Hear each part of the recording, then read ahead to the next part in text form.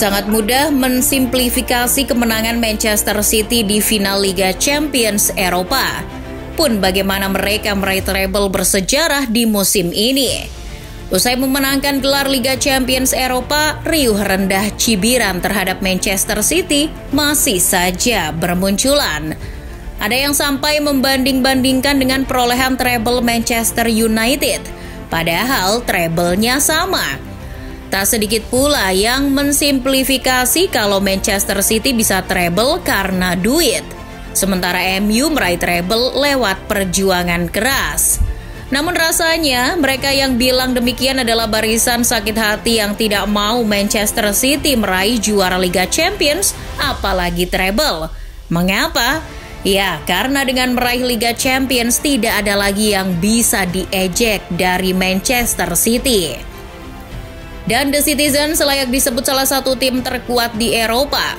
Walau bagaimana, Manchester City memang pantas juara dan fans MU harusnya sih gak usah nangis. Well, apa yang membuat City emang pantas meraih treble musim ini? Mari kita bahas.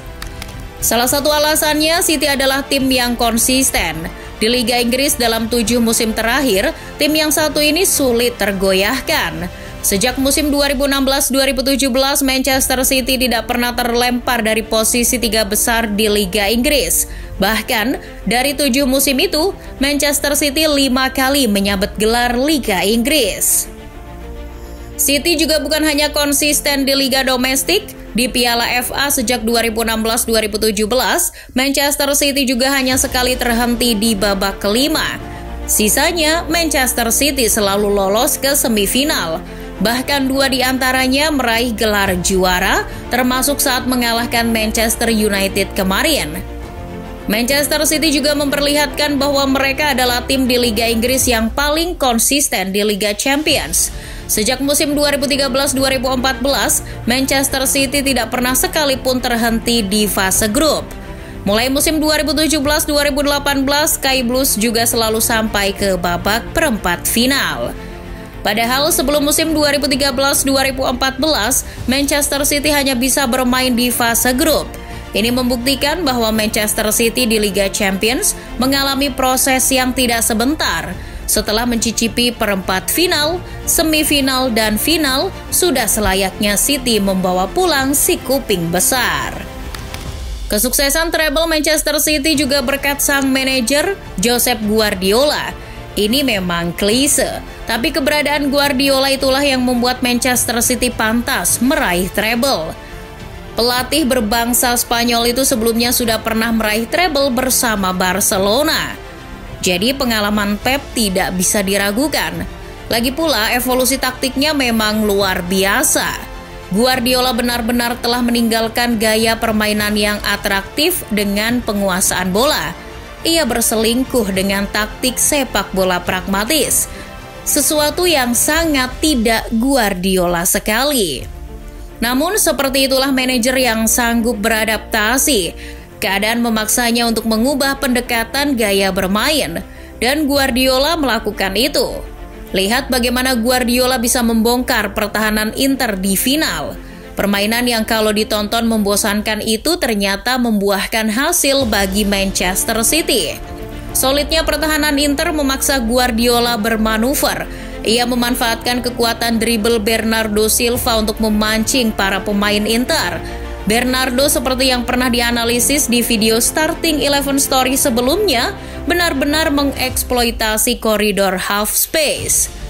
Namun, bola kiriman Bernardo justru menjadi bola liar. Rodrigo menjemput bola tersebut dan dar.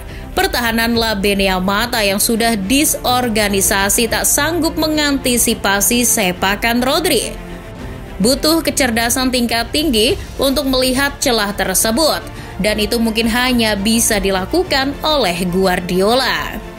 Guyuran uang dari Syekh Mansur menjadi buah bibir ketika Manchester City berhasil meraih treble bersejarah musim ini.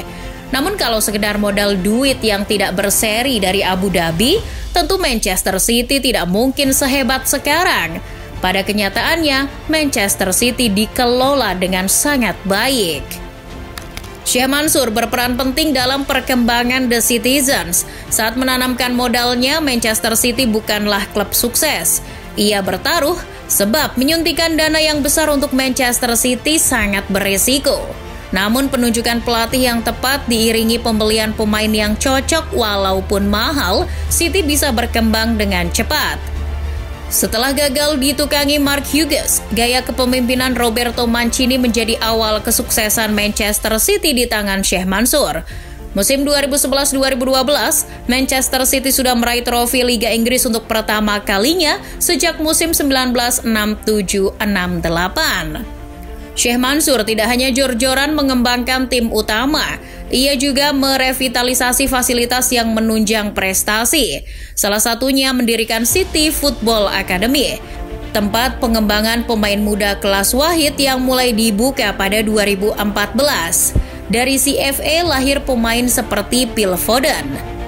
Nah, setelah era Mancini, City menunjuk Manuel Pellegrini Pria Chile yang sempat naik daun ketika itu karena statusnya mantan pelatih Real Madrid. Penunjukannya tepat. Pellegrini sukses antarkan City kembali juara Liga Inggris musim 2013-2014. Syekh Mansur tidak sendirian. Dengan bantuan Siki Begristein, sang direktur olahraga, City bisa mendatangkan pelatih kaliber Josep Guardiola.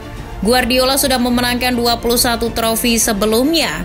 Syekh Mansur dan Begristen pun komitmen mendukung Guardiola.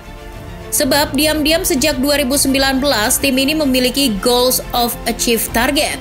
Sejak saat itu Manchester City berhasrat untuk memenangkan setiap trofi dalam sepak bola. Kolaborasi Syekh Mansur dan Guardiola akhirnya bisa mengantarkan City sampai ke mahligai kejayaan. Kalau dibilang juara karena uang, City sebetulnya tidak boros-boros amat dalam pengeluaran. Dilansir Football 365, seperti dikutip Yuho Sports, City bukanlah tim Liga Inggris dengan pengeluaran bersih terbanyak selama lima musim terakhir. Jumlah pembelanjaan bersih City hanya di angka 224,97 juta pound sterling.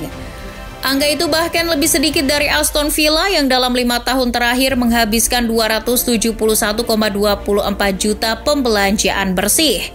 Chelsea 654,21 juta dan Manchester United 540,23 juta pounds, menempati posisi 1 dan 2 sebagai tim Liga Inggris dengan pengeluaran bersih terbanyak sejak lima tahun terakhir. Ini membuktikan bahwa City cukup cerdas dalam pengelolaan keuangan. Lagipun tidak masalah kalau City treble karena uang dan bisa membeli pemain-pemain mahal seperti Jack Grealish, Rodrigo, Riyad Mahrez, Erling Haaland sampai Kevin De Bruyne. Manchester United ketika meraih treble tahun 1999 juga begitu. Jangan dikira Sir Alex Ferguson sepenuhnya membangun tim dari bawah. MU saat itu juga jor-joran membeli pemain. Jeb Stam misalnya adalah back termahal di dunia saat itu dengan nilai transfer 10,75 juta pound sterling. Dwight York juga menjadi pemain termahal klub dengan harga 12,6 juta pound sterling. Sudahlah, suka maupun tidak, Manchester City memang layak meraih treble musim ini. Bahkan bukan hanya treble, pasukan Joseph Guardiola sangat berkesempatan mendapat tambahan trofi lagi.